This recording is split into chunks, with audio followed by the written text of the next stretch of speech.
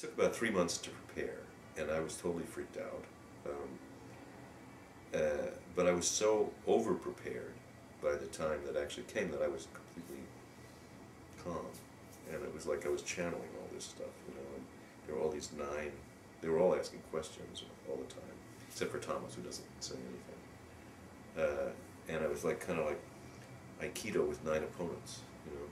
But I was, I mean, I, it was one of my better days, you know. I mean, I, and I did a really good job. It just there, there was no hope. So it was interesting. It was very, the experience itself was quite enjoyable. I mean, it's the, the thing that I do, and it's at the highest level. And all. And there's, you know, they're smart. I mean, these people, and so it was a very intense experience. And uh, you know, I mean, I think one deludes oneself that uh, even though it's a stone cold loser, that well, maybe we'll win. You know, and, uh, but it was not to be.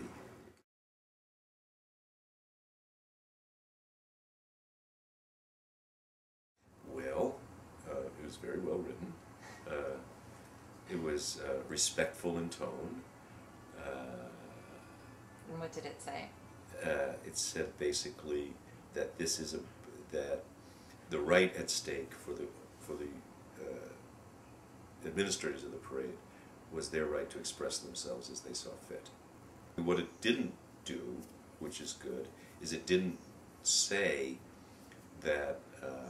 laws forbidding discrimination on the basis of uh, sexual orientation were unconstitutional or anything like that, and that uh, I think, as I recall, it upheld the test that if the state uh, the, the, the state has a, a legitimate and powerful interest in banning discrimination, including discrimination based on sexual orientation. So in that sense, it didn't do, it didn't do, really do any harm, any particular harm, I don't think, beyond the case.